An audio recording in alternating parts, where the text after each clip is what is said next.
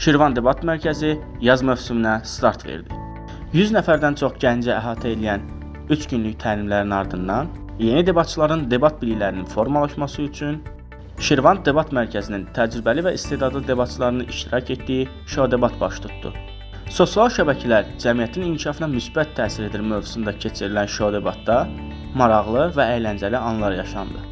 Şou debat ərzində təcrübəli spikerlərimiz yeni debatçıların 3 günlük təlim dövründə öyrəndikləri məlumatların tətbiq olunma qaydalarını göstərdilər. Nəzərinizə çatdıraq ki, həm təlimlərimiz, həm şou debatımız Respublika Gənclər Debat Forumu 2022 yaz sessiyası üçün hazırlıq prosesləri kimi nəzərdə tutulmuşdur.